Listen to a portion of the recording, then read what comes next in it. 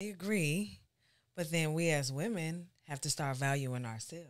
Oh, big facts. We have to stop allowing some of the things that we allow from these men and start joining together in sisterhood and womanhood to protect one another, look for one another, encourage one another, support one another. Because a lot of times I feel like when there are women who are in these certain situations and if they really had a true friend that that would ride with them a lot of it probably would be able to you know alleviate a little bit because if you have somebody there that's encouraging supporting you and helping you through something like that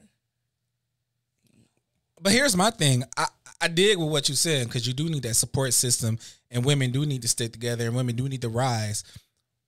But my problem is, as a man, we should have never put you in that predicament to begin with.